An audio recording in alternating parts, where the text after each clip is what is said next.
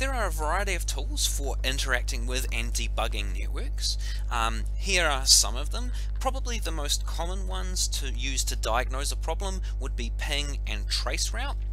And we'll see what they do in a moment, um, but there are also very common tools like ifconfig, which shows your network configuration information, TCP dump, which listens for communication on particular ports, and route, which shows the route table of a device. Um, if we have a broken connection between two computers on a network, the first step that we might want to do to try and debug this process is start by pinging um, connections from one computer to another and pinging all of the interspersed routers along the way.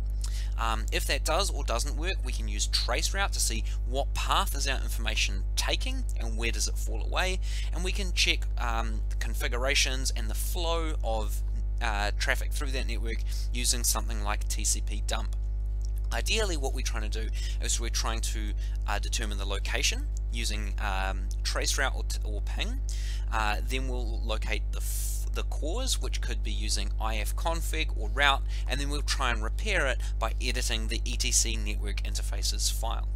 So what a ping is, is a ping makes a packet and sends it from where you are to some target destination and then it listens for an echo coming back. So it is literally just shouting out something and listening for an appropriate echo.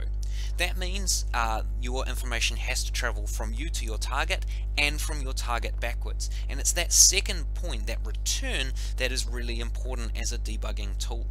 Um, we can use a tool called bash scripts, or we did in the labs, to create uh, a way of pinging multiple machines at the same time. Um, and bash scripts are kind of tricky, as I'm sure you'll see by now.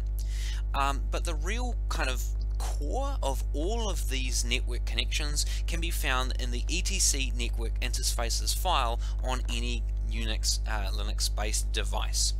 Um, what these files contain is the configuration parameters for all the different interfaces on a network. So what do I mean by an interface? Well, here's an example of an interface that we can see on the screen here. This block of text here is an interface. This is not an amazing interface, this is a simple interface which is called the local loopback, which allows the machine to communicate with itself. The more important one is the one below it, this interface right here. This is an interface with the machine to other machines on the network. And we can see that for starters it has a name. The name of this interface is eth0 we can see that its IP address is static. And then we can see what the IP address is. So this line here is what sets the IP address. This is where we set the IP address to be 10.0.1.2 the net mask which we'll come back to later uh, is set by that line and then the gateway which again we'll come back to later is set by the line below it. So this interface and only this interface has that IP address. If I had more interfaces more ways to connect to different networks then I might have multiple of these and I might have multiple IP addresses. Um, once you've edited or changed that file, uh, you do have to reboot the machine or use if eth0, um, IF down, eth0 and IF up to turn it off and on again to reload those changes. Um, and they go into the route table. If you type route, you will see a table like this displayed by any computer or router.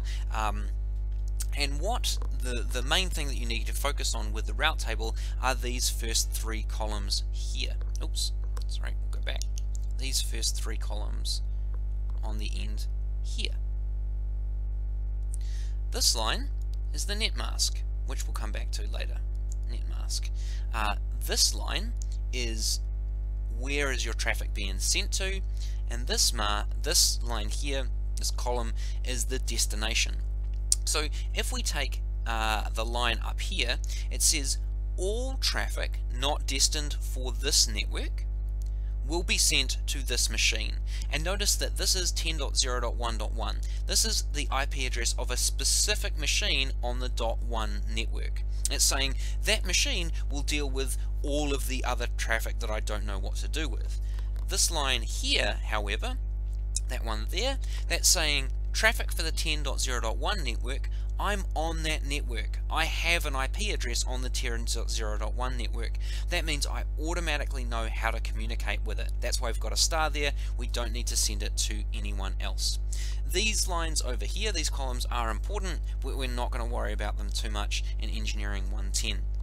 And so to add more routes to this table, we add lines to that ETC network interfaces file. For example, this one here, this line here, uh, this adds a new route to this network, the sorry, the 10.0.2 network. If I underline it, this adds a new route to the 10.0.2 network. That dot zero at the end, that means we're talking about a network, not a specific machine. This line of numbers here is the net mask, and we're saying via 10.0.1.1. So all this says is all traffic ultimately destined for the 10.0.2 network, we're going to pass on to this machine and we're going to assume that this machine knows how to deal with it. The next line down um, is how to delete a route if you're doing this via the command line and to add a default route, which is a catch-all, um, we add it using this syntax here. This line up here, sorry if I change my colors, this will be easier. This line here is a specific route.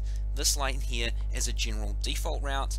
And in general, your traffic will follow the most specific route that it finds first. So it will only follow a default route if it does not find a more specific route to a network that it's destined for.